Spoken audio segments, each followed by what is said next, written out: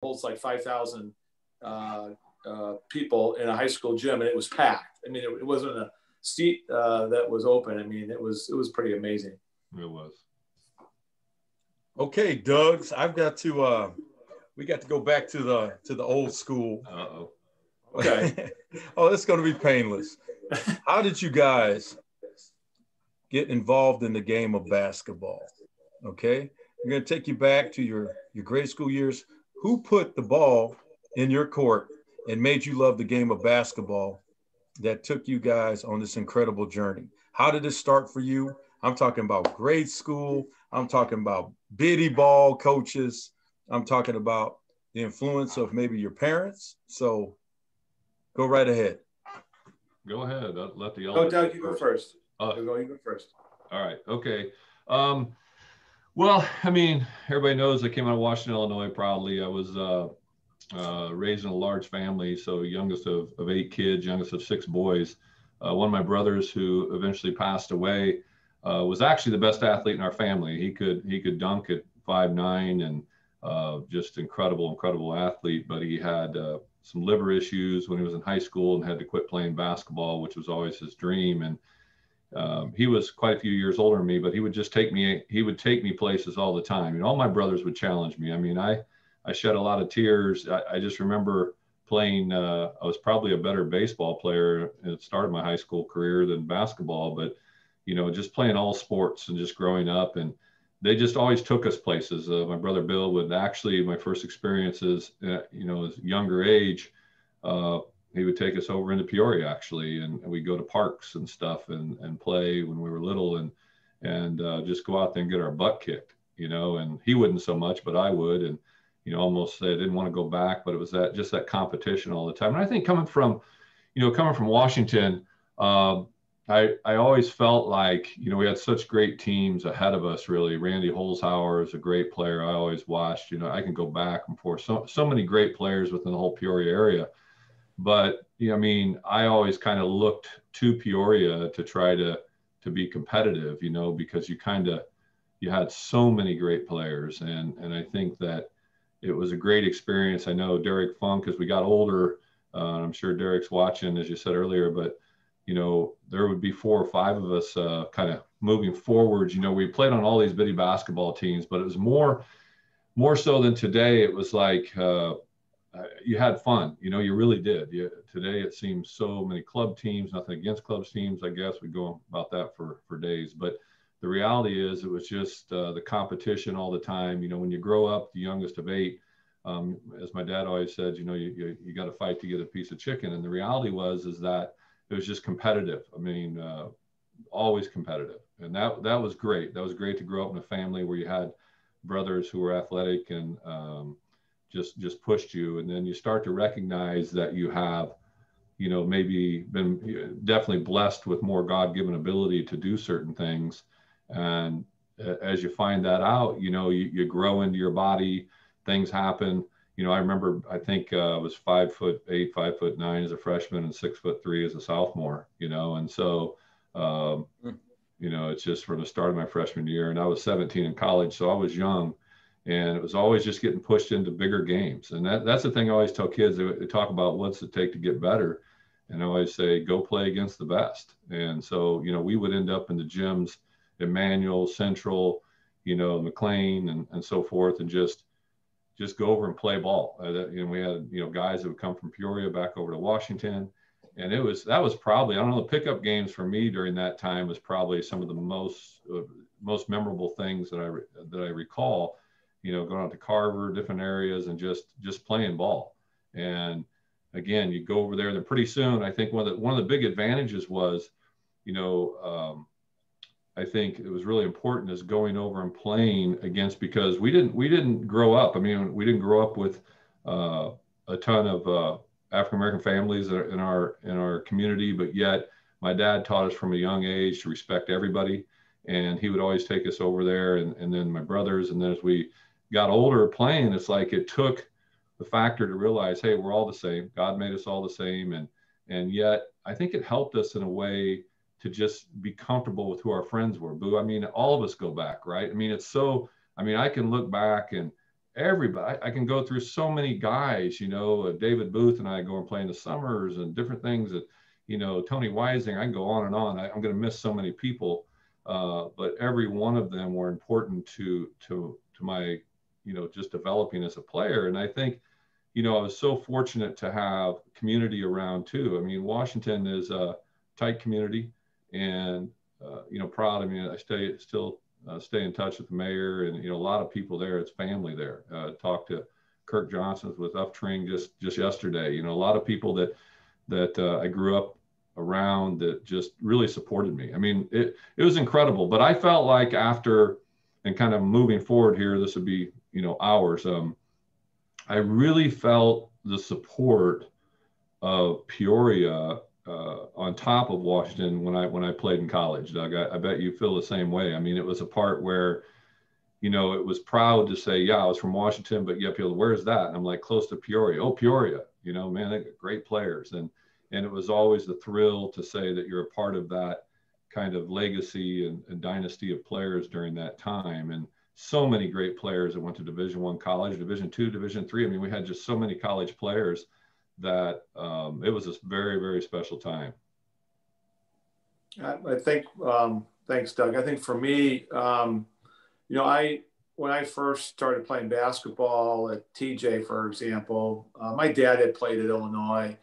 And um, so, you know, everybody, my dad's named Bill, my brother's named Bill. So, you know, everybody would call me Bill. So when I was growing up, I, um, I, I liked the game of basketball, but I sort of fell in love with it because my dad would take me to the state tournament at a very young age, and I would go to the games um, with my brother, who's uh, a number of years older than me, and uh, his job was to, to, babysit me. But I remember going to the um, assembly hall and as, as state high in the state tournament, and I thought, man, this is this is really cool.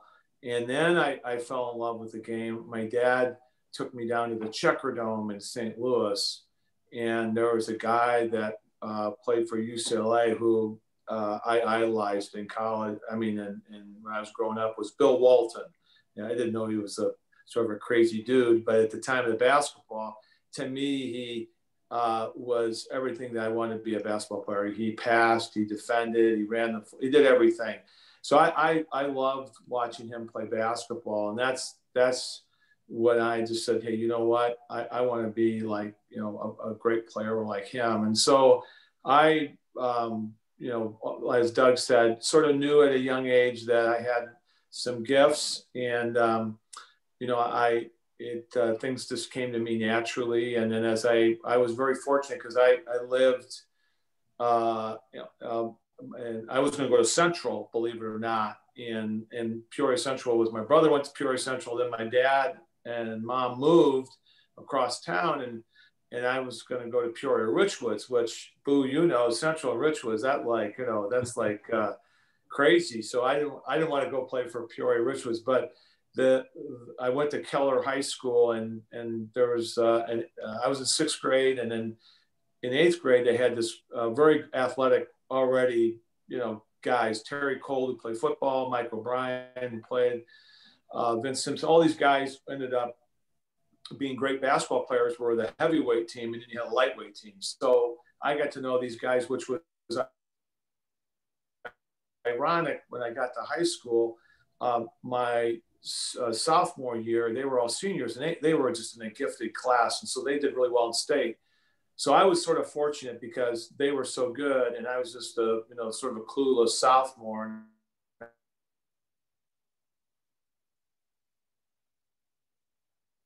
And I got to a little bit. Um, was a, just a huge factor for me. I mean, he really uh, made me a better player. He challenged me every day. Um, and I just, at that point, everything just sort of focused. So I, I just, high school is when I really felt like, you know what, this is, this is, and then I, I was fortunate because we went downstate. All of a sudden, I started getting all these letters for college. And I thought, wow, I mean, I didn't really play very well, but for some reason they think I'm, you know, I can play at the next level. So that really motivated me to, to, to work hard and, and get and play in college and stuff like that. But it, my dad playing in Illinois, you know, he, um, you know, he, um, was just you know so instrumental for me because my dad you know helped me with my game. You know he taught me a lot. You know he would sit down and tell me you know how to be a better player. So he was very very helpful as well. And uh, you know i look back and you know like doug said i was very blessed. I mean peoria is a great community had great basketball. You know we would play in the summers at richwoods high school you know, we had Mark Smith, Derek Holcomb, we had Bradley guys come over. I mean, it was just crazy. Doug Lee would come over. I mean, we had guys that would play, pick up games. I mean, it was it was insane how much talent was out there. I look back now, that was just in Peoria. Guys, not even just Division One, but he had Division Two and I mean three, and and those guys could play just as much as we could. So at, at uh, in the summers, it was just amazing basketball. So it was that was sort of the golden years, I think I would say for Peoria. I mean, I'm sure they were great, you know, Calvert Cheney and all these other guys came in, you know, um, and and some of the other great players. But my, my point is that a lot of guys from Indiana came over there and uh, you know recruited. You know, Purdue got Doug, and you know Illinois we recruited. I mean, it was a fertile recruiting and it was just amazing uh, to be a part of that with Peoria and just the type of basketball was being played. Uh, you know, it was just uh, as Doug said, you would go and people say you're from Peoria area, and it was like wow, instantly they knew that uh, you know you that there was just great basketball there.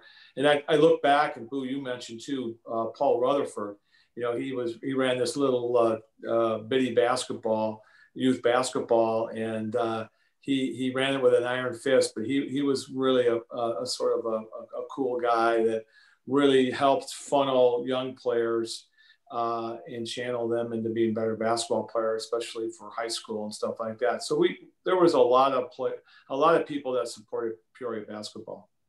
I was boo. I was gonna I was gonna add something that you know one thing you mentioned Doug talked about is that there was so many great coaches. I mean uh, Steve Doty knows our high school coach. I love him. Matter of fact, I think his birthday yesterday, so happy birthday, coach. Um, but the fundamentals were something that were taught everywhere we went. You know, I could remember going whether it was uh, you know Bisher, Westendorf, didn't you know you go through, and I remember going over to play and, and have uh, basically McLean, you know, stop games and go, you know, you didn't do this fundamentally and get out of the gym. You know, it, it, was pretty common in those days to kick players out of the gym, right? Uh, both at our place. I mean, a Coach Doty kicked me out a couple times. So, you know, I, I, think it's a part where, you know, fundamentals were fundamentals and, and you worked on that. I still believe in that today. I still believe the, the great, great players can do the fundamentals. And, you know, back when we played, if you couldn't, you know, uh, triple threat, couldn't do the right things and just being taught that at a young age, know, I never went to all these camps and everything to go to. I was invited to Nike camps, all these things. I never did. That's I think when Nike camps got started. But you know, I'd go to Coach Doty's camp, and uh, you know, I was a lifer there. But he taught me the fundamentals all the time of how to play the game fundamentally. And when I got in college, quite frankly, when I went to Texas A&M first, um, and and still love that school, it was. Uh, it was a shock how far ahead I was fundamentally than the players there, you know, and and I I really you know people contrary to what people think you know that I didn't like Texas A&M I did I just I wanted to get back to Midwest basketball I was starting there and playing and you know on my way to a great career there but the reality was I just after I got hurt there my sophomore year I wanted to get back to Midwest basketball and the fundamentals and uh, get back in the same conference with Doug. Yeah, I mean, and, that's a good point. Uh, yeah, and, and the other point is is that there were a lot of great coaches um, in, in, in, our league, um, and and you know it, that I, and I look back at uh, um, you know all you know uh, Chuck Buescher, who was a great coach at Central.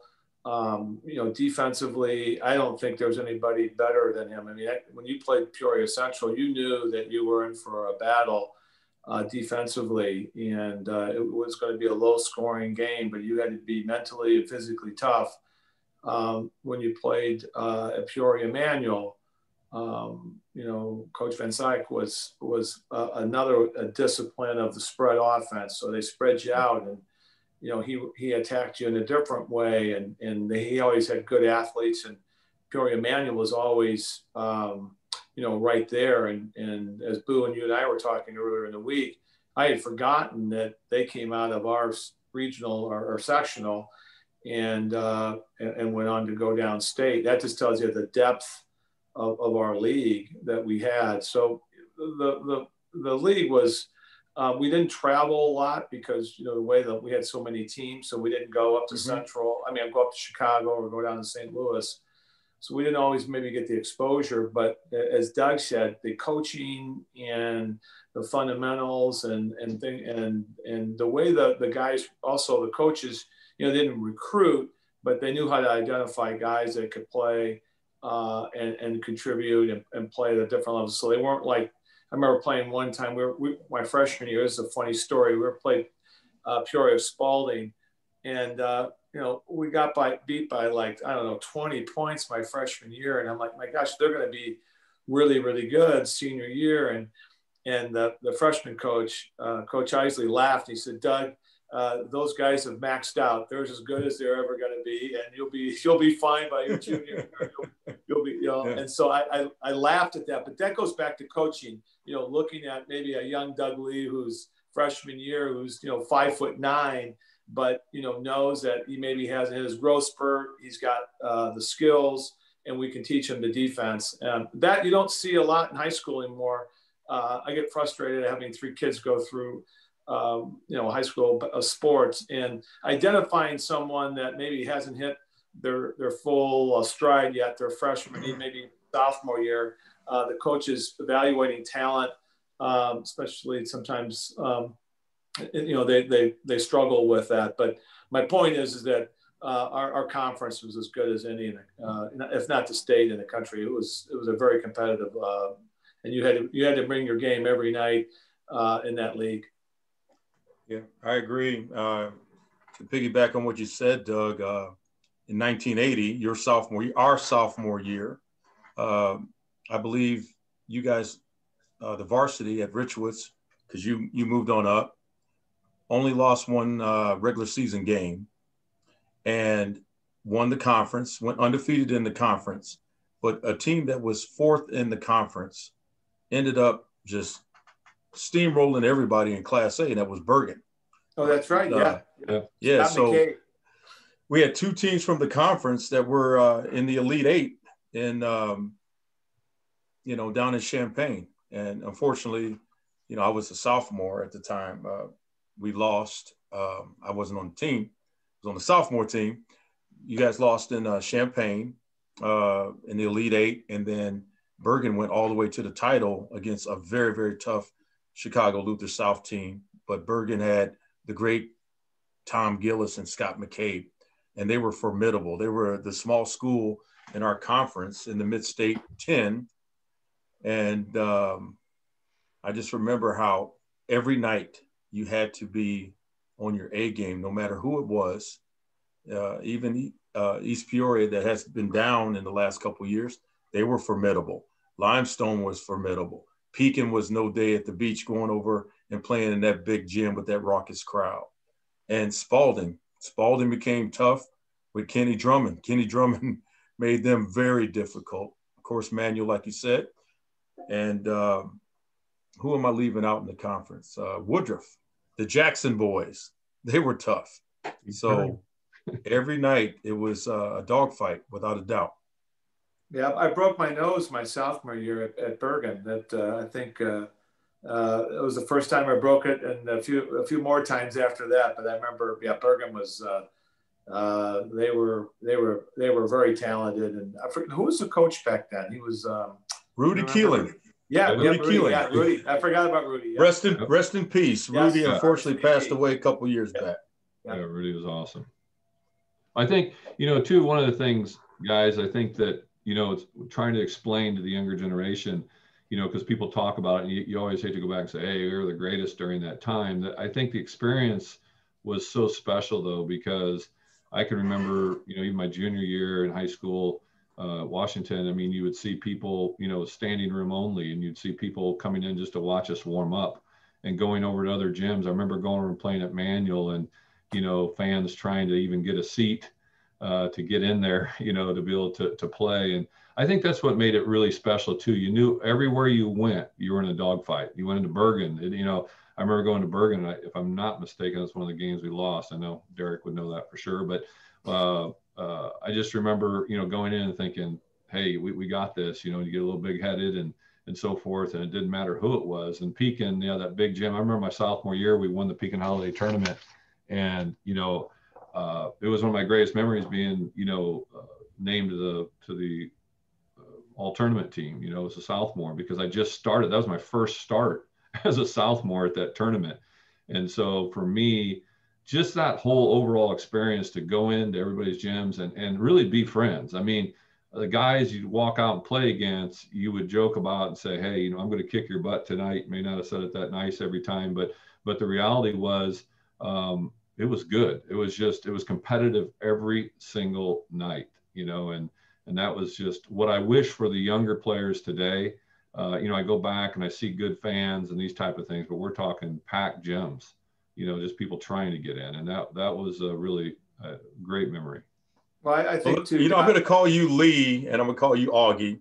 Yeah. Okay. So good. first of all, Lee, uh, name some of the great players, some of your great teammates that you had uh, during your career at Washington, and I'll ask you the same, Augie, uh, uh when Doug. Well, I mean, there's so many guys. I think, you know, Derek Funk, I think, was probably, I think he was named second team all conference that year, but I always felt like Derek was probably, uh, and I know a lot of players have said this to me from Peoria over the years. Derek was probably the most underrated player in the whole conference, in my opinion. I mean, he, uh, you know, he focused on, you know, none of us shot the ball a lot, even though we averaged a lot of, you know, probably shot 16 times a game. I did, you know, and, uh, maybe 17 or so, but we spread the ball around. But he was a guy that was always, man, he could shoot, he could do so many things. But you know, you had Tom Newmark, who was also all conference. Uh, we had Matt Ernst, who was you know all sport everything.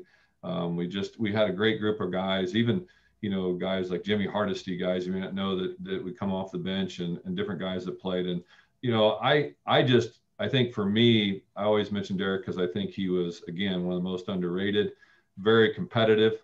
You know, that guy can go back and tell me what happened in, in games, uh, you know, back when we played that I'm just amazed by. But he's a student of the game. And, and again, I, I always want to give him a shout out because it's just incredible. And when you, and Doug knows this very, very well. I played point guard Texas A&M and start against uh, a couple games, which is kind of crazy. But, but uh, you know, being a point guard's a, one of the toughest jobs on the floor. You got to keep everybody happy. So, you know, but I, again, I, I think uh, not the effort to leave anybody out. I am getting old, you know, but um, I just felt like we had a balanced team. We had a lot of players, you know, and I think we could have, I always felt we could have, we had a guy by the name of Chris Herman that played at ICC and then went on coaching. you know, Chris is still in the area.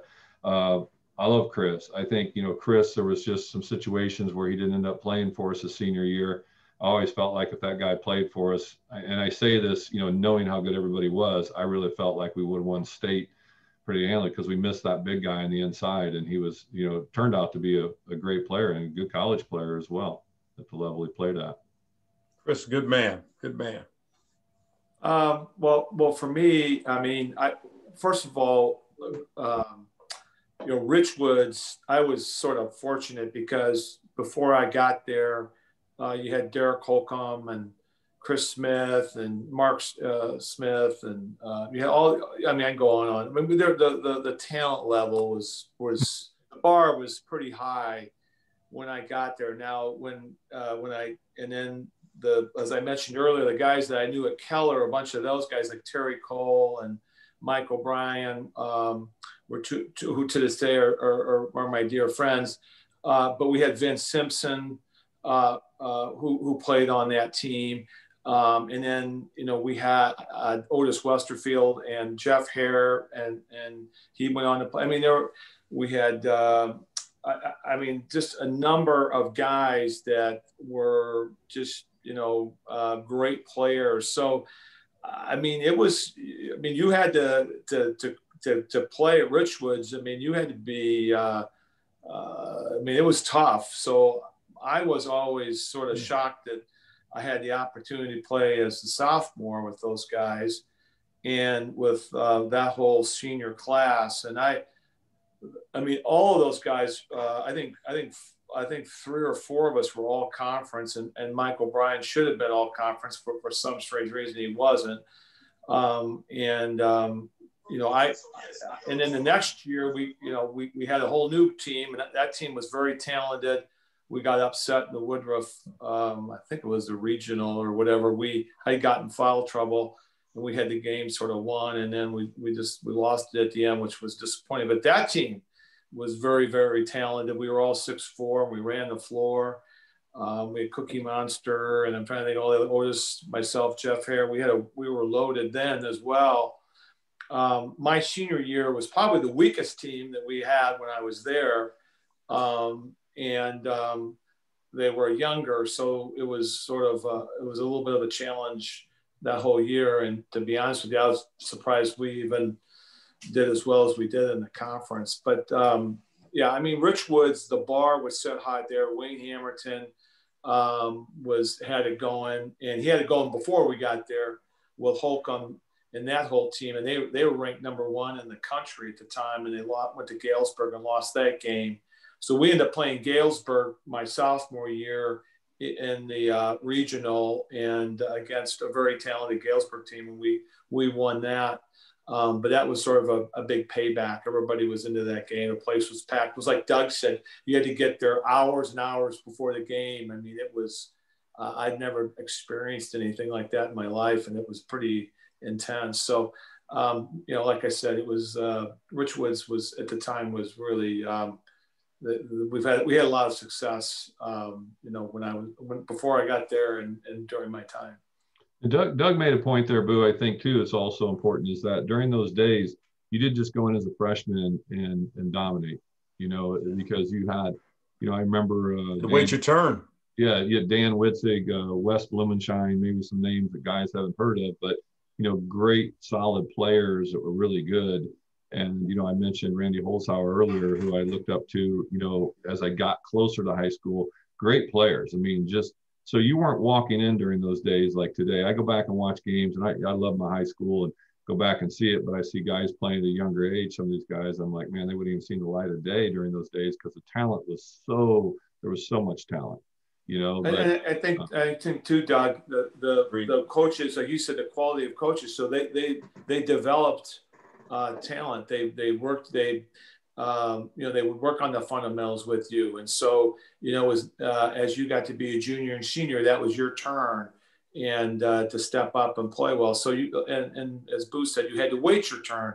But during when you're waiting that term, I mean, they were drilling you for, you know, uh, making the correct pass, you know, good defense. You had to be a complete player. They were teaching you all, all facets of the game.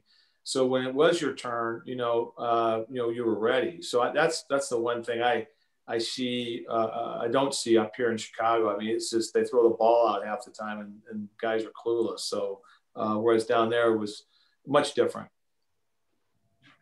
Well, okay, uh, Lee and Augie, uh, I'm going to move into uh, our senior year, in which both you guys, Rich Woods and Washington, were leading the conference same record, but on the get down to the last game of the season,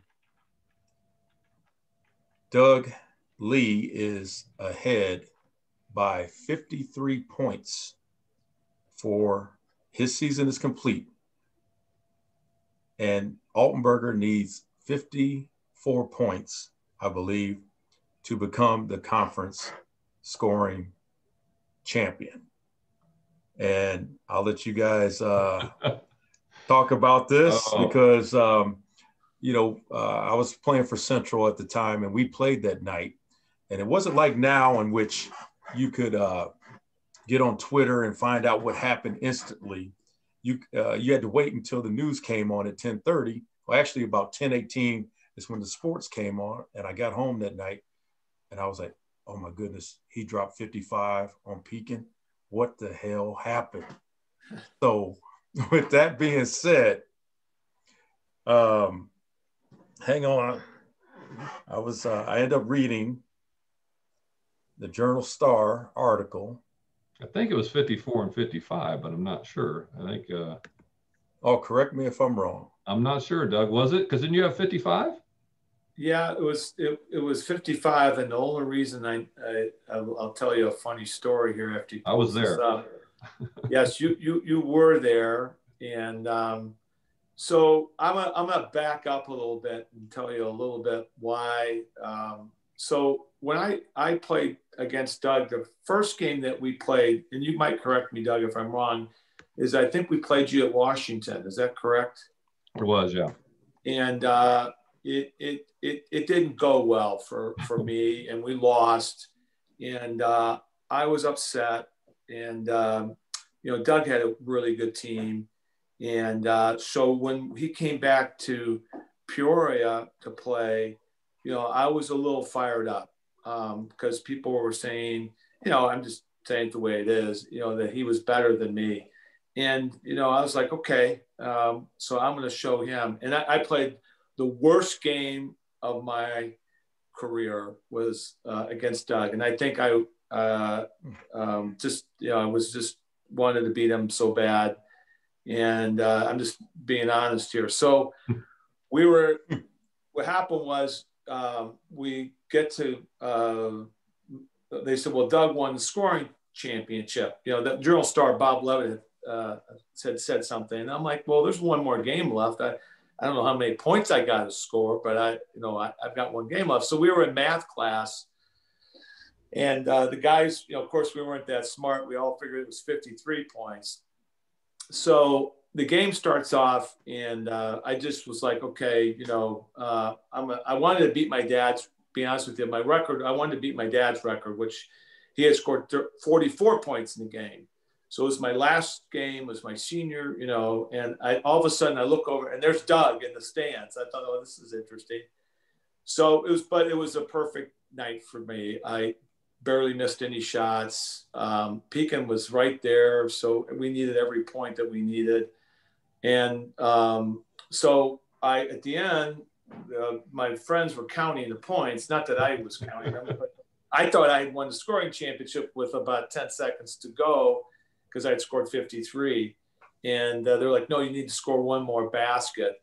So uh, obviously, I uh, Pekin scored, and then I ran down and scored 55 points. And uh, but it was a perfect night, and uh, I just felt like, you know, I needed I wanted I wanted to win that scoring title, but I'd never you know really gone that crazy in a game before in my life, and it just was the perfect night. And my friends were all there, and we were all laughing, and we talked about it earlier in the in the day. You know, maybe I could win the scoring championship, um, but you know, like I said, you know, Doug was um, was uh, was a great rival, and I always wanted, you know, and I felt like um, you know, that was my one opportunity because he'd already beaten me twice. So I felt like, you know, maybe I'm gonna try to do something special. And then I saw him in the stands, and I thought, well, this is a this is an interesting.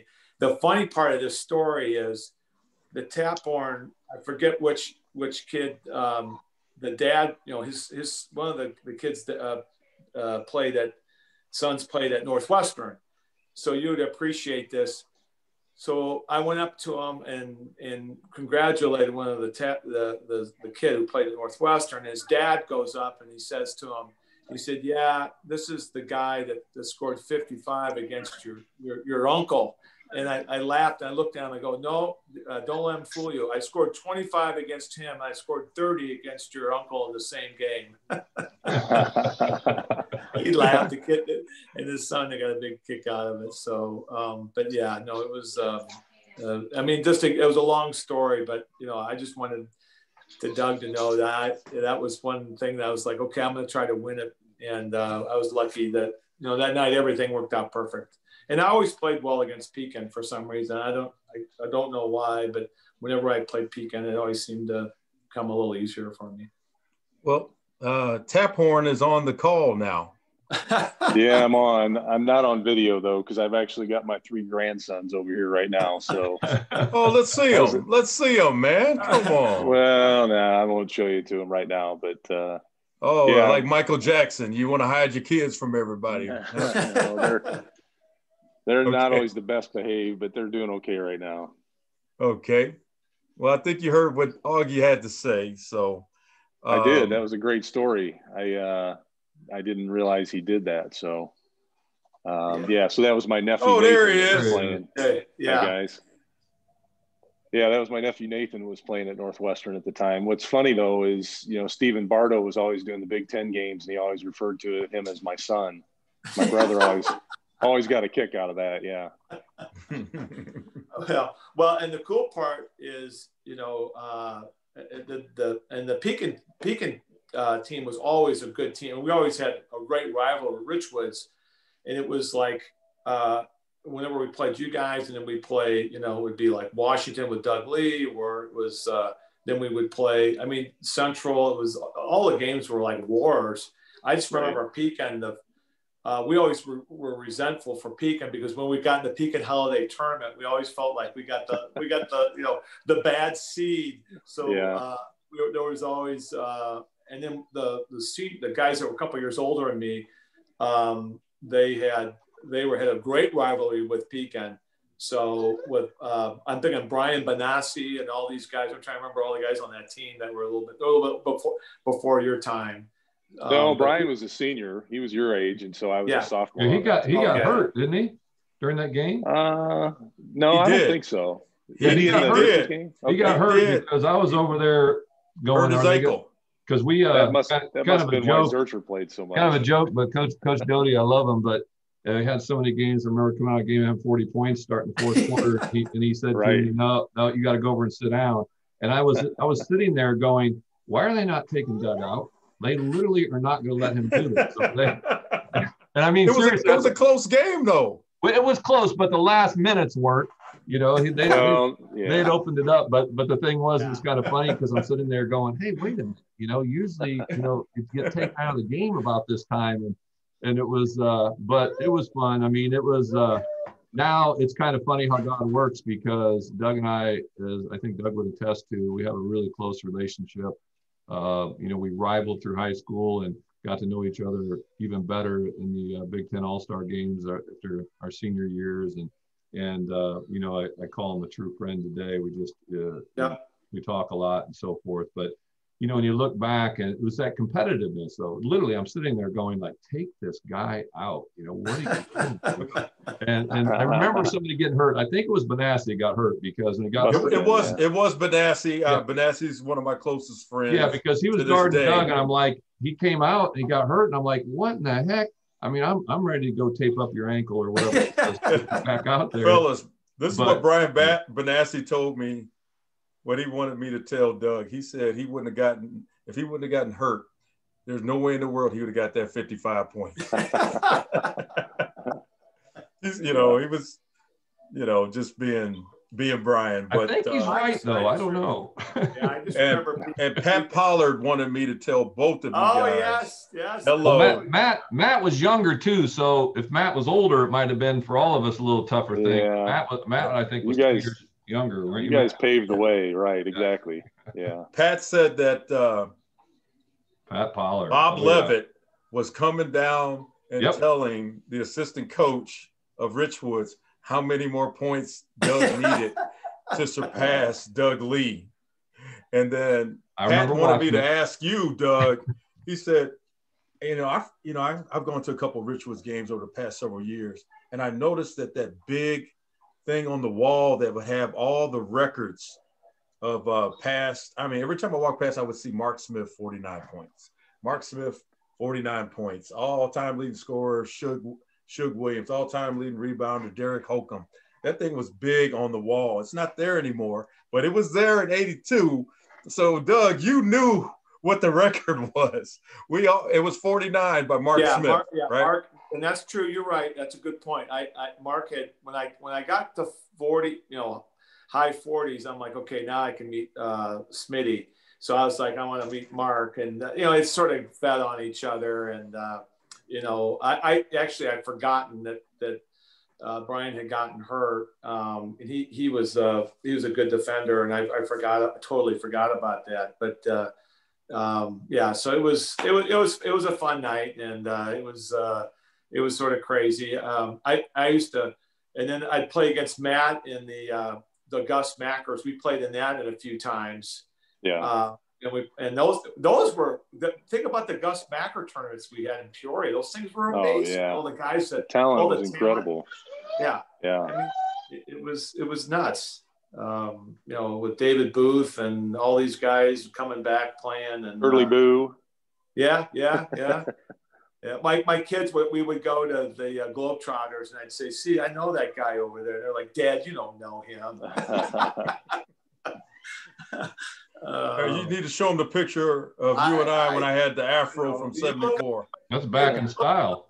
back then, so.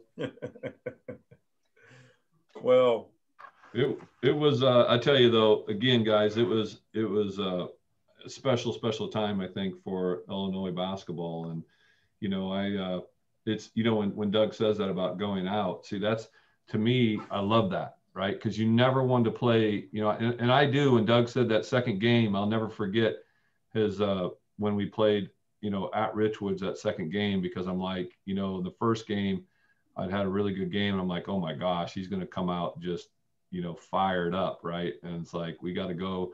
And he just had one of those nights, you know, and it was like, I literally remember this, and this is going to sound crazy. You guys won't believe this, but you, when you see another athlete not playing at the top of their game, I was really disappointed to be candid because, you know, that's just kind of how it goes. You know, people think, well, yeah, you did it. No, it's like you want to play people when they're at their best. And, you know, I remember the reason I went over that game was to go over, I was, you know, not even thinking. It was more just kind of supporting. Our, our season was done. Uh, kind of go over and and and basically, you know, see what happens with the conference championship. And you know, I had, I didn't even know to went over. You know, coach was like, "Hey, you got their Derek, probably Derek, you know, because Derek always kept track of that. You got the rebounding title, you got the free throw percentage, you got the field goal percentage, you got the scoring." And when I went over and I'm like, you know, I got to watching Doug play, and we played so similar in a lot of ways you know, I really was, and I can say this from my heart. When he got it, I was like, yeah, Levitt running down the bench wasn't really a, a fun thing to see. But at the end of the day, you know, I, I'm just tickled because for me, uh, our relationship that's gone on now for 30 plus years has just has been incredible. So, uh, you know, and and Matt, I think one of the things Matt being a couple years behind us and, and picking up, it's like you know, you just follow guys' career. I mean, Boo, when I watch, it's like it is something to say, like, hey, I, I I played against that guy. I know that guy. He's out there creating a legacy with all these kids and stuff that you're doing with the Globetrotters. And, you know, congratulations on that because the, Thank I would say of any of us here on the phone, the impact, matter of fact, uh, go through all the players out of Peoria. And I, I, I say this, you know, I can't imagine a guy who's had more positive impact on young kids than you. So, I mean, I salute you Wow. for that. thank you, thank you, Agreed. Doug Lee. Thank you. Thanks. yeah, I mean, I, I, I have I've had friends who uh, who who've gone up to you that grew up in Peoria that you know you didn't know and who knew me and said, you know, I went up to to, to Boo, um, you know, in Chicago, and you know he's you know you didn't know him, but you, you say you're from Peoria and and you made them feel like you know really special with their kids there, and I can just tell you, guys, I'd run into them later and they'd say, hey, listen, you know he's just a terrific guy. Go, of course he is. He's from from Peoria. You know, we're all good guys. And then watching Matt play at, at ISU, you know, I was always rooting for him. And uh, you know, like, hey, he's a Peoria guy. You know, he's from Pekin and whatever. And I'm like, hey, this is awesome. And so you just you you you know you wanted to beat everybody, but um, you wanted them to, to, to do well as and and you had great pride when you came from Peoria, especially watching all these guys play hoops uh, whether it's Booth up at you know DePaul, you know you're rooting for him. I mean, I go on and on and on. I mean, Right. watching all these guys play. I mean, there were, there's a great camaraderie, and I just you know, um, you know, Matt, we were talking about this earlier. You might not have heard, but you know, in the summer we'd all play against each other. We you know go over to different gyms and different Oh, yeah. things. I mean, it was it was just insane, as I said earlier, on how good. Uh, you know, the basketball sometimes, to be honest with you, in the summer league with nobody there was like we had Derek Holcomb and Mark Smith and uh, Chris Williams, all these guys coming over. It was uh, it was really a, I mean, the summer league was was uh, amazing. Uh, and Mark Smith taught me something in the Big Ten how to be a better defensive player. He said, "No, when you go to the Big Ten, you got to do this, you got to do that." I mean, he was telling me some tips you know, back then when I was a, a, a senior. Well, okay, that's a, a great segue into uh, you guys' path to Texas A&M, and for you, Doug, to go to Illinois. So I do remember hey, Curly Boo. Before me, you yeah. move on to that, I'm I'm going to drop off. I got uh, some uh, grandkid duties to do, but I do appreciate you get get me on with these guys. They paved the way for for me and others behind me, um, and I really appreciate that. And this is a great thing you're doing. You're reviving the history of Peoria area basketball. So thanks for all that, and you guys have a great night. Thanks, Matt. Good to see you. Good to see you, Matt. Good to see you. Goodbye. Yeah. Um, I remember my senior year, our senior year, playing against uh, you guys in the regional, and I looked over at you. I was trying not to look at you guys. I knew all of you because I played at Richwoods my freshman sophomore year, and I remember just looking over at you, and I saw like what kind of shoes he got on. Oh man, he he got them new Converse that nobody could get in Peoria, and they were white and navy blue. And then all of a sudden, I look over, I see Lou Henson over there sitting, you know, and everybody's shaking his hand, paying attention to him. I said, man, he's going to Illinois just because of them damn shoes you had on that night. hey, shoes were a big deal back then, you know. Yes, was, uh, they came with the cool. car, I think. Yeah, they didn't match anything. didn't match Richwood's colors. Green and gold does not match maroon and white. No, no. Well, for me, I'll I'll uh, I'll uh, start out. Um, I I I uh, looked at Purdue and I looked at Indiana and Illinois and actually and uh, and a couple other schools, Big Ten schools. I wanted to play in the Big Ten, and you know, my dad having played at Illinois, um, you know, was. Um, but I, I liked, you know, I loved Indiana. I liked Coach Knight at the time, and I loved Gene Keady. I thought Gene was my type of guy, um, and he was a tough guy. So um, those those schools, I, I, But in the end, um, when Bruce Douglas decided to come to, to Illinois, I thought, you know, he was the guy in Illinois, Mr. Basketball, mm-hmm. Parade All American. And then Efrem Winters was going. I'm like, hey, I want to, I want to get in with these guys because something special is going to happen with them. And so, uh, having my dad play at Illinois and then coming in with such a great recruiting class with Bruce and Efrem, it was just sealed the deal for me. And that's that's how I, you know, I ended up getting going to Illinois. Plus, you know, it's it's such a short distance. So you know, I had to call Gene Keady and uh, Bobby Knight up and tell them I'm not going. And uh, and I, but I to this day, I mean, uh, uh you know, Keady was as I, I love Gene Keady and, and Doug will talk more about him. And and I got to know him even better when I started doing announcing. And Coach Knight is Coach Knight. I mean, he's uh, you know uh, they don't make him like that anymore. So you know, um, and that's how back to the, the Big Ten, it was just a crazy league back then. But Illinois was, uh, I'm glad I went there and it, you know, it changed my life. I met my wife there. And to this day, you know, um, you know, it's a big part of me and a part of my life. Awesome. Awesome.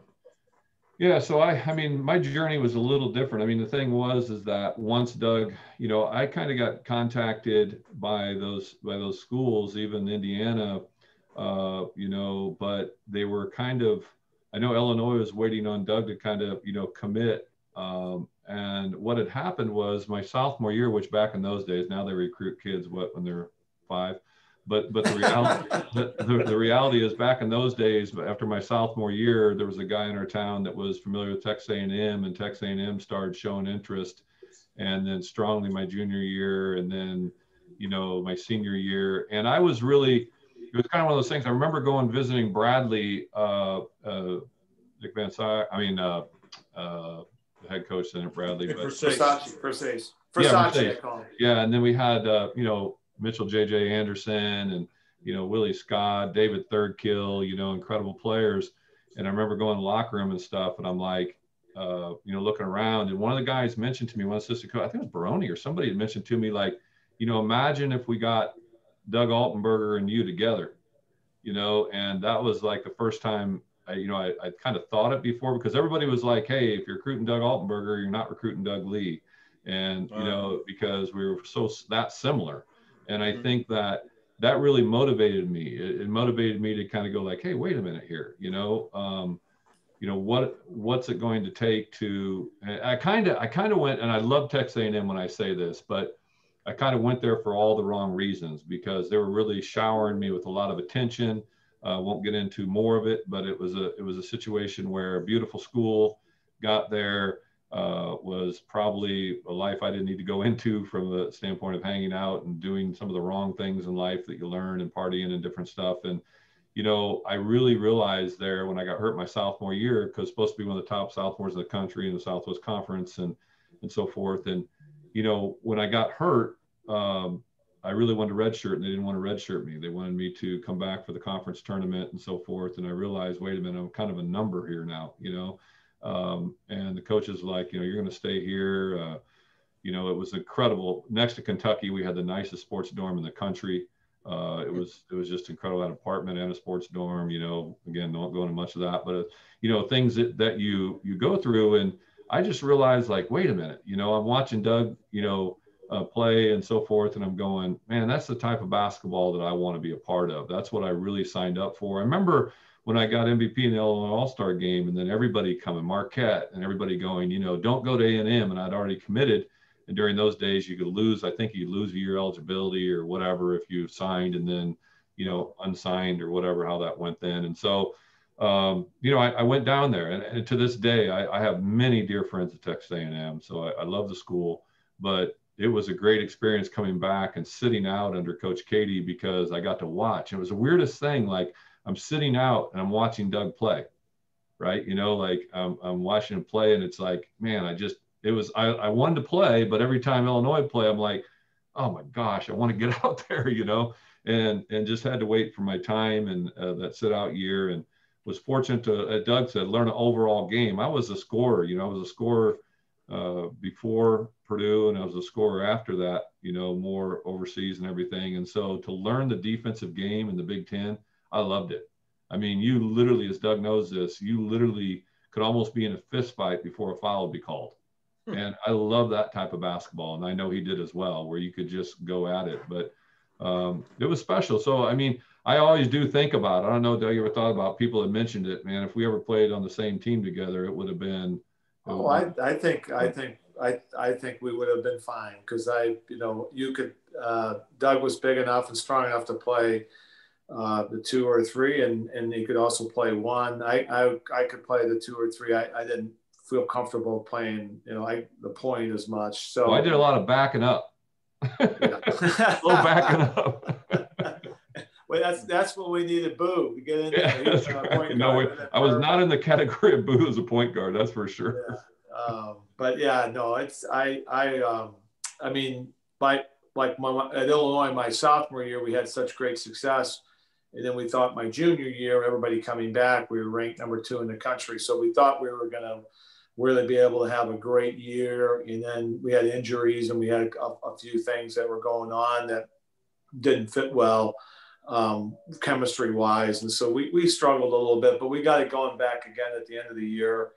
And, um, but yeah, it's, it's, um, um I, I look back and I thought, man, that would be really cool if, if uh, Doug would have played at Illinois um, you know, that would have been pretty pretty cool stuff because I know uh, Lou Henson would have had us both out there at the same time. He would have figured out how to get us out there. Uh, it's only fitting if you Google one, you see the other's picture somewhere somewhere down the line. But but you got to play with a a homeboy and Tony Wysinger. So yeah. I know that had to have been special to have another Peoria boy on the team. And this year, I, I know that you're you're back to doing broadcasting with Illinois, and there's uh, you know, two Peoria boys on the team and Da'Monte Williams and and Adam Miller. So how was it uh, playing with uh, Wysinger, who was, you know, played with me at Central and um, was a rival, and now you guys are teammates. Well, and, and Tony was was was a great teammate. I I, I can't. Um, his senior year, um, he was a, uh, a year younger than uh, Doug and I, um, and he, he came uh, his uh, senior year. He, he just had a phenomenal year. He was our was our point guard, and he was a guy again who who waited his turn um, and came in off the bench and played some valuable minutes uh, early in his career. Uh, he again fundamentally he was solid. um, and he um, uh, didn't try to do too much out there. Uh, in his senior year, he just had it was he was uh, he, he really came into his own, and and Tony was just a great uh, teammate and, and, a great person to this day. Um, you know, I text him, I make sure check in with him and make sure how he's doing, and uh, you know he's another guy that just uh, you know just you know just a great human being you know, he's been coaching at ICC all these years and just really impacting uh, young men. So I, am just, I just think the world of Tony and as a teammate, um, you know, he's, uh, he's one of my favorites. Great. And I echo uh, that. Tony is incredible. I mean, he is uh, just briefly, he's an excellent human being, just like, like Doug said. And, you know, it's just always been a great representative of Peoria basketball as well, like yourself, Boo. And, you know so many guys to come, but always respected him. That that that guy played hard, man. He played hard. That's one thing I think about Tony. People talk about his athletic ability, and he had it for sure, but he worked hard. Tony worked hard. He could he could on a fast Relentless. break, he, he could pull up uh, on, on, a dime, stop full uh, and and pull up right at that free throw line. That's what incredible body control. Yeah. Oh yeah, and he just pull up and, and he and hit that floater, uh, uh, you know, and it was it was something beauty, and he nothing but nothing but net too. I mean, it was something. He uh, that was one of his go-to shots on a fast break. Now he didn't always pass it to the guy on the wing on that fast break, but that's okay. I'm pretty sure he's watching right now. But I, I have a couple of messages here from from people that admire you and people that you played against, and one of them is actually kind of funny.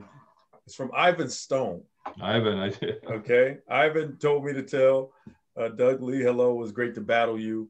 But he also said to Doug Alberg he would like to apologize for stepping on your head and, and bloodying your face in a game. I don't remember that happening. I was, of course, there, but um, he says he's sorry.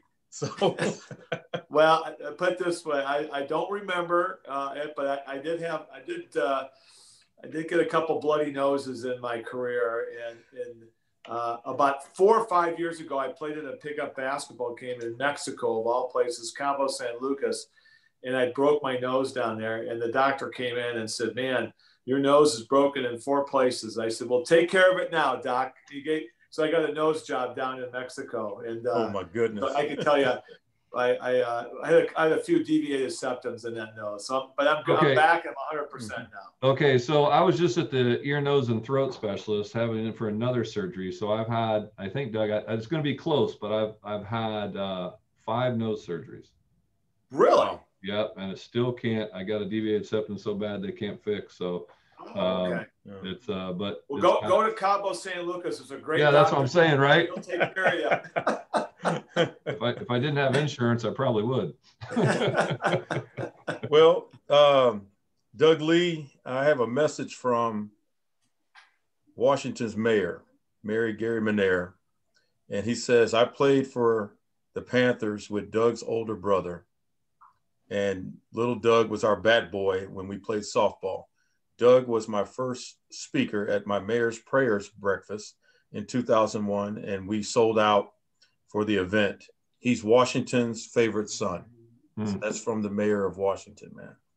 Oh, I appreciate it. I mean, you know, a lot of times positions, I always give the glory to God. It's a part where I didn't have a relationship with Jesus Christ when I went through sports. And I think when, uh, until I got in professional sports, my first year, George Karl was a coach in the minor leagues. And, you know, you, you really once uh, came to the Lord's, and, and Doug knows this as well. He's come to the Lord as well, and it's a part that you know uh, I won't I won't take this time to preach to anybody, but I can tell you my life was drastically changed, and and uh, you know I'm always a work in progress. But you know the city of Washington has been incredible to me. Uh, we've had Alex Peters, different players have come up, great players. You know, guys I can mention so many guys. Uh, my brother-in-law Todd Foster, you know, that kid used to bug me and you know, tried to always want to go play ball with me when I was younger and ends up, you know, getting three Big Ten championship rings, uh, being a captain on the Big Ten championship team. So, you know, just the memories of people there. But uh, to the mayor, I think, you know, again, coming up a big family. I mean, Gary, I used to watch him play ball and baseball, and that's how I got my love for baseball. And everybody always said you could be a, a lot better baseball player than basketball if you focused on it. And I don't know. I just love that round ball and that you know big round ball to play. And but it's an honor. It's an honor. I know a lot of places I went and represented. I know during the tornado I was asked to come back, and when that happened and everything there, and you know I never I never forget where I came from, and it's always nice to be proud of where you came from.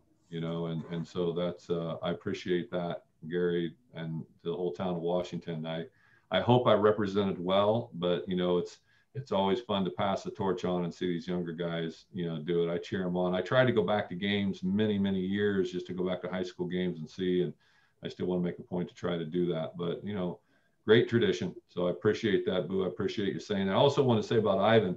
I had Ivan written down and Mark to talk about. So he he says that Ivan Stone was was man, he was a heck of a player, you know, and and just tough, tough, tough. And I knew going up against him. I was always, and I never did. It was one I always wanted. This is kind of weird. Like you think back, and I think pop in my head, right?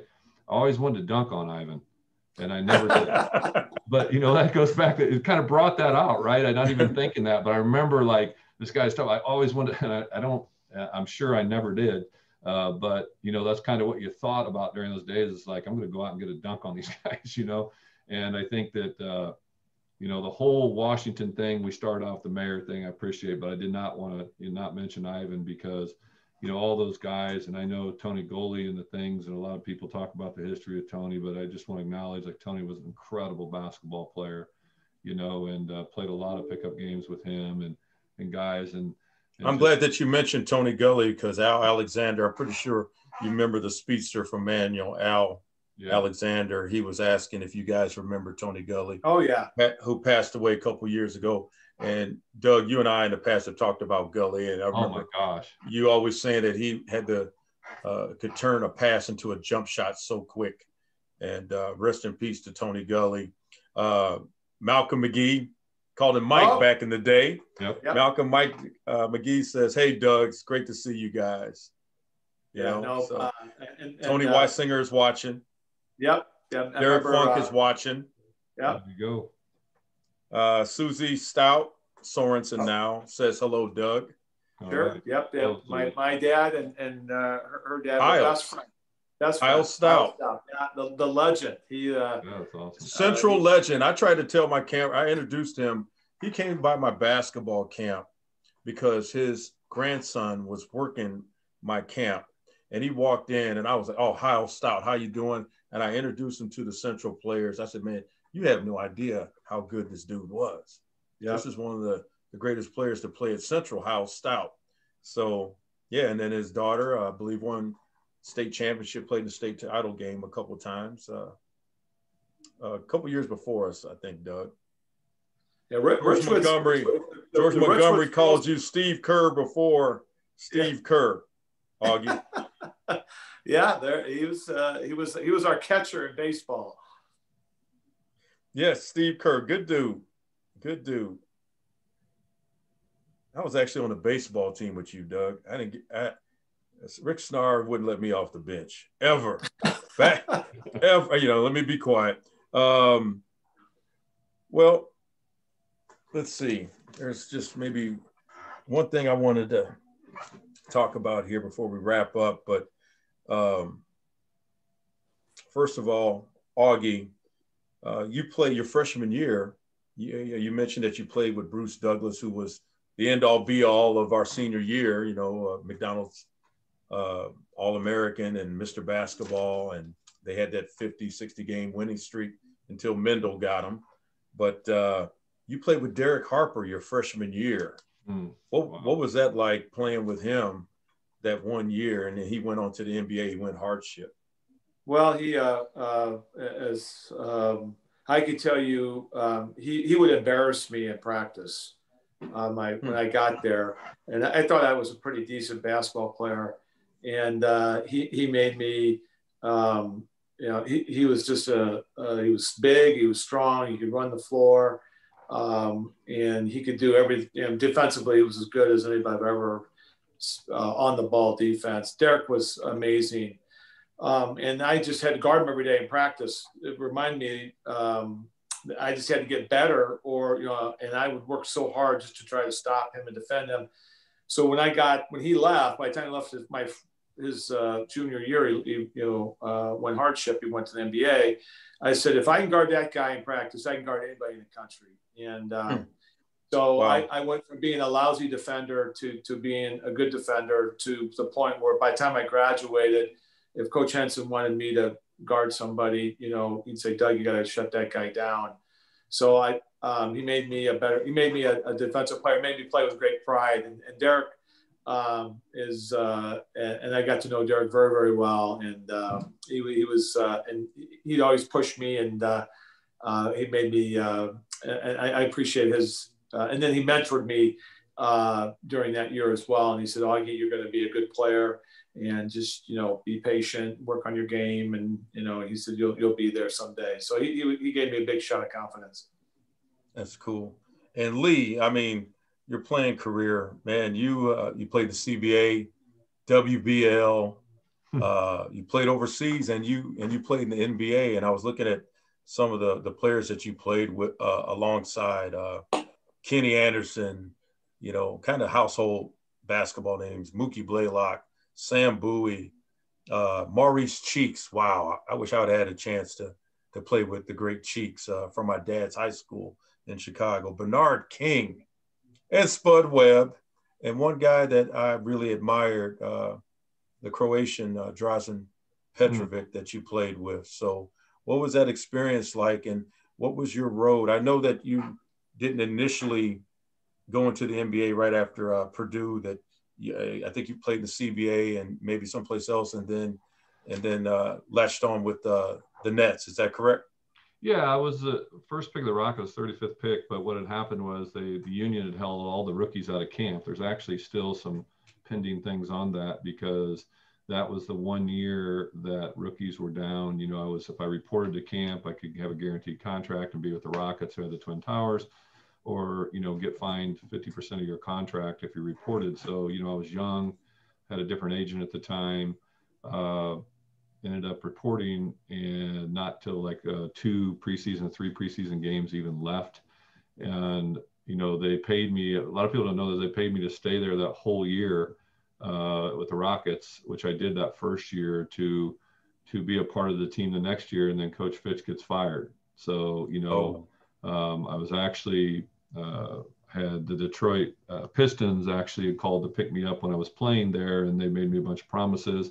And you learn a lot about life. You learn a lot about business, you know. And you look back and said, you know, I could have gone to the Pistons at the time, and uh, because they were going to pick me at the, uh, I think they had the third to last pick of the first round, and I was on the phone with with them, and and thought I was going to go to the Pistons at the end of the first round, and you know, then you go through that. And I really, I mean, I'll be candid, I'll be very transparent in a short time here. Uh, you know, having a wonderful, wonderful wife and so forth. I got married in college. I just kind of fought a little bit of depression because it's a part where you go and you, you work all your life to do something. And then you realize, you know, outside the top 50 players in the NBA who are better than anybody on the planet, you know, it's just being in the right place at the right time. I mean, you talk about, uh, you know, Doug Altenberger. I mean, the reality is I know this and I can say this with confidence you know, Doug on the right team, the NBA, he could play a lot of years. And I think that when you learn that and you recognize arriving, you mentioned some teams, Bernard King. I remember in the summer league having, I mean, in a, a training camp against Bernard. Now his knee was hurt, granted, but I had 38 points against him, and you know, walk off the floor, and I'm fighting to get a contract. And I got in early. Drazen Petrovic. Uh, when I went overseas, I had uh, set some three-point records there, and set uh, three-point uh, record in the CBA, and and basically carved my way overseas. And I just kept coming back to the NBA, waiting for someone to get hurt, you know. And it happened that I, it was crazy because my I had a great preseason with New Jersey. I actually won uh, the scouts and stuff. The scouting crew came over and said you probably had, you know, the first or second best six man in preseason in the whole NBA. And I thought, okay, here it goes. You know, my agent called me, said you're probably be signing for, you know, a million million dollars soon, you know, after this year. And I sit 22 games waiting for Drazen to negotiate his contract. Hmm. And then Drazen and I became real close because we were lifting weights one day and he came in and said, you know, I got something to tell you. And he got all teary eyed. And I'm like, what's going on, Drazen? He's like, um, you know, we talked to my agent and we said they couldn't play you anymore until I got my contract done. And, you know, people don't realize that that's the business of basketball. Now, not every team was that way, but you know, Mookie Blaylock and I are dear friends. Derrick Coleman, I talk to every week. Derrick, actually, I do business stuff with, and you know, uh, even guys like Jerome Williams. I'm in, I'm in a company with Jerome, so all those guys. You know, I used to, uh, uh, you know, once you're in, I think the hard part for me is once you're in and you know you can play and you know, I led the Bulls in scoring one summer league, and I say that not to boast in any way, but to tell you how fine that line is. Boo, you've been around professional. Doug, you've been around it, right? To go, you know, we went up to the Bulls. It's literally, you know, that. To I remember Steve Kerr. You mentioned, you know, different Steve Kerr, but Steve Kerr telling me one time, uh, you know, they cut Jud Buechler from New Jersey to keep me, and Jud ends up going and getting picked up in Chicago. And I had the opportunity to sign with Chicago after the summer league for the same deal that New Jersey gave me. And everybody says you're nuts. Well, you know, who wants to sit behind Michael Jordan? You're never going to play. um, so, but at the end of the day, once you realize you can play at that level, um, for me, I always say this, you know, I was a lot better than a lot of players that made millions, but I wasn't as good as some that never got the chance. And that's the reality. Wow. You know, wow. that's, that's it, deep. It, it really it really is the reality you know I, and once you know you can play at that level i remember you know the bulls in the summer league and beat me and bj armstrong will purdue and that summer team and, and scoring you know at 30 points uh, you know in the la summer league which was like the thing back then and you know doing incredible and thinking why in the heck am i not signing for all this money and then they'd make me a minimum offer or 20000 over a minimum offer because the salary cap was different I, you know, I've heard recently now the NBA keeps so many players. There's players that won't even see the light of day that'll make more money in, you know, in their careers than I ever made. And probably, you know, probably two years they will, and they'll never see the light of day in the NBA. I'm not, let me tell you, I'm not at all down about that. I'm so thankful that there's so many opportunities for players to make money today. You know, um, I do a lot of times think when people ask me about, well, you're better than Doug Altenberger um, they don't know basketball. The reality of it is, I think we're exactly the same. I just think the circumstances at times are a little different. You know, um, I always say I may have been at times a little more athletic, but he was a whole lot smarter. You know, and, and that son of a gun would, you know, and so so Boo, I, it's a privilege. It's a privilege to be a part of this whole thing. I, I, I really appreciate you bringing in all of Central Illinois. I know David Booth, a dear friend, and you know, the Peoria basketball talk that they had going. I thought it was great, but I thought, you know, there's a whole bigger story, and that's what you told me, Boo, right? That goes on, and so yeah. I just always feel like it's a privilege to, you know, just be mentioned with people and and you know, but I, do want a lot of. I have a lot of friends that over the years who said, Doug, if I could just have made it to the level that you made it to, and I, I get a chance to tell them about the Lord, and I just get to say, hey, you know,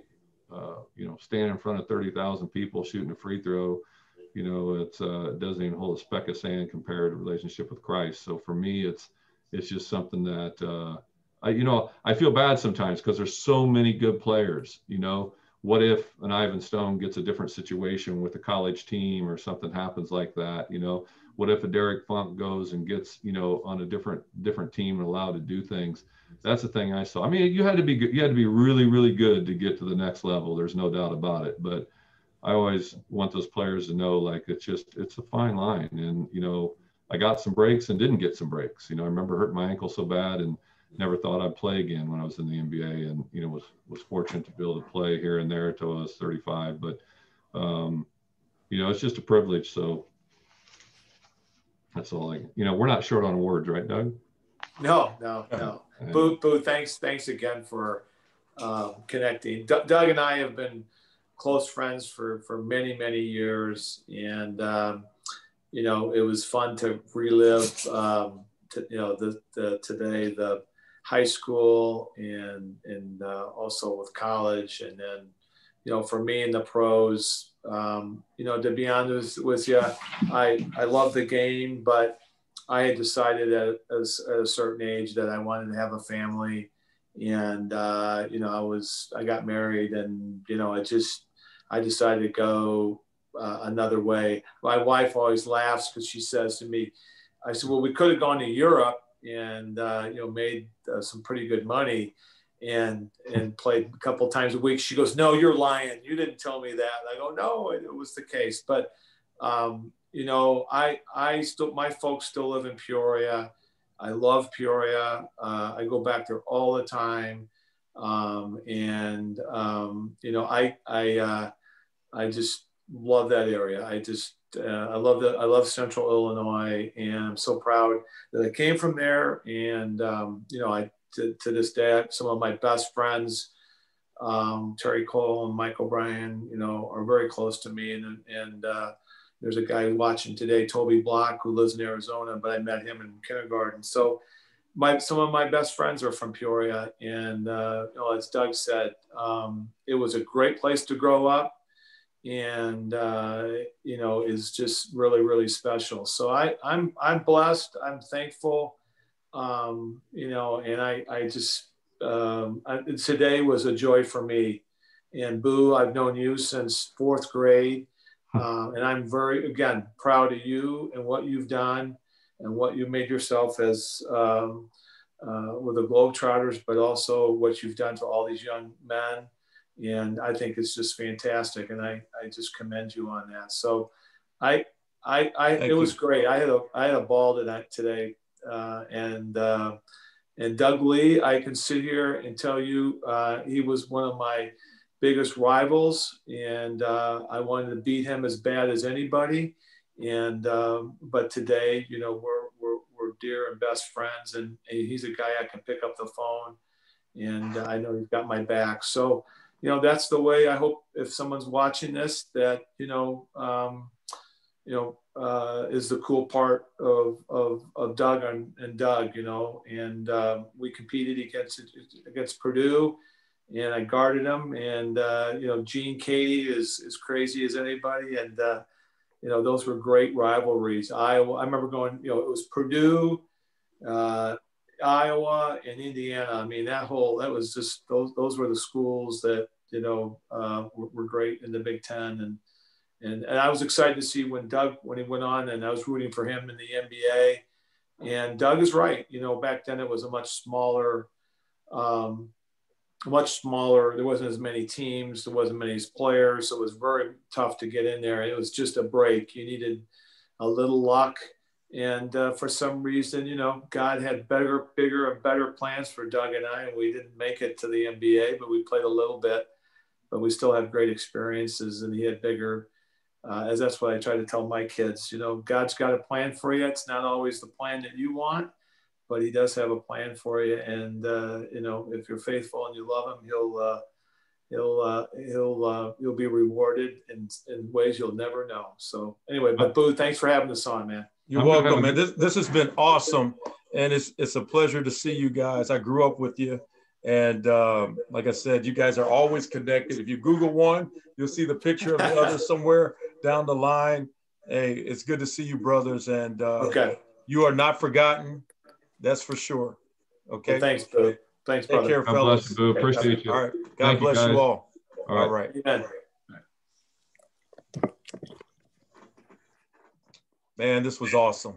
Yeah. It was absolutely awesome. And uh, uh, on Monday, we'll pick up again. And on Monday, we're going to have uh, Tony Gower, uh, Dwayne oh, sure. Banks, okay. and uh, Percy Neal from the 1977 Peoria High State champions. And then on Tuesday, we're going to have some of the girls from the Morton Championship run of four, uh, four titles on Tuesday.